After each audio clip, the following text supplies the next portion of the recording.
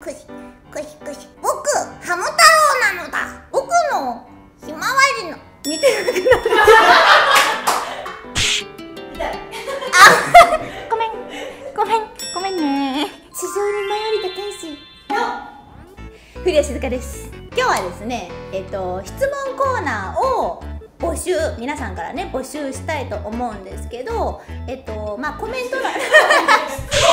ああ質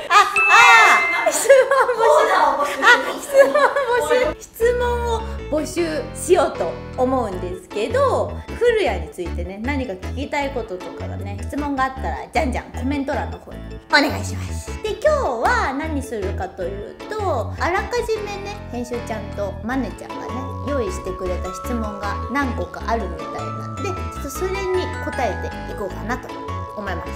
身長は何センチですか？身長は175センチに見えないけど154センチです。させん。血液型は何ですか？青型です。誕生日はいつですか？はい。12月26日です。イブクリスマス古谷の誕生日です。天使迷いてるわ。天使舞い降りてる。すごいね清い夜にね舞い降りる天使なんです。よクリスマスで終わんないんです。よイブクリスマス古谷綺麗。出身地は？秋田得意な声真似は？これありまして披露したことあるか覚えてないんだけどあるんですよ。何ですか？ハム太郎です。ハム太郎と公式くんもできる。お。でトークができる。ハム太郎と公式くんで いきますね。くしくしくしくし。へけ。くしくしくし。僕ハム太郎なのだ。僕ハム太郎なのだ。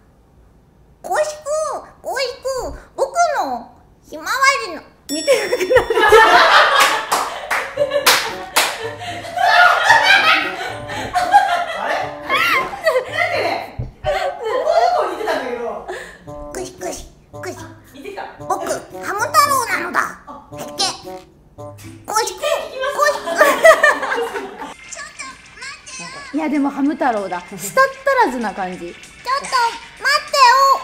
待ってよ。ちょっと待ってよ。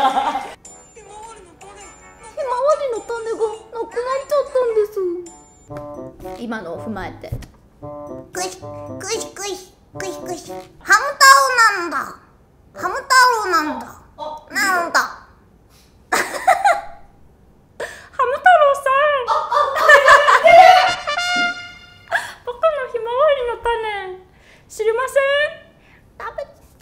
ないよ。知らない。最近ハマってることは？ハマってることは？えー、ハマってることなんだろう。えー、ない。あ痛い。ごめん。ごめん。ごめんね。YouTube 見るのハマってる。ゲーム実況とかホラー実況みたいなのね。ハマってます最近声優さんの結婚ラッシュが多いですけど結婚願望はありますか？いやー結婚ね素晴らしいことだと思います。家族を作ってね。こうやっぱり家庭ができるっていうのはこうねイベントごとが楽しくなると思うんですよ。私は。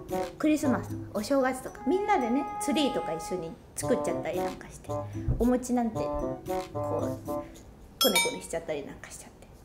っていうのいいと思うんだけど残念ながら古谷さん結婚不適合者っていう風に最近思ってましてもう誰かと住むのも無理だし最近はいや別にそんないいんじゃないってそこにこだわんなくても人生楽しけりゃって思ってます。